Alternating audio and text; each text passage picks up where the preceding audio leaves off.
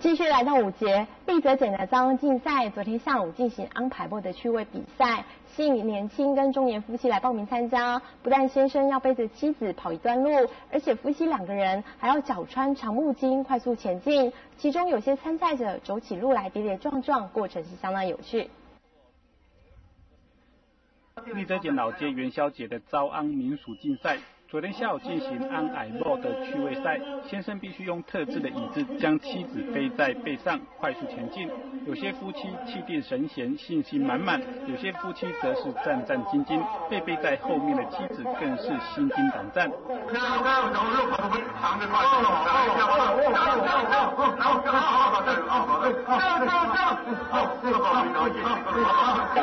就是老婆奉老婆指示啊，要来报名参加。没有啦，好玩啊，趣味啊，减重没有啊，我们都一直这种身材，不用减重。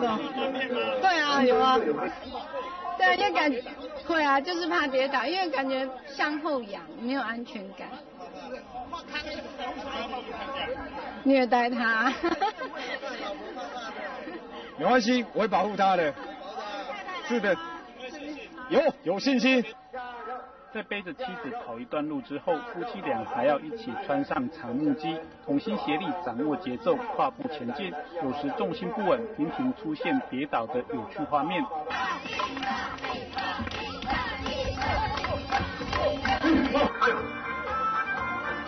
慢慢来，慢慢来，我们看我们的一号跑道，加油，加油，加油，加油！加油！啊，下太多了，我们把它加少一点。来，好紧张，因为好玩了。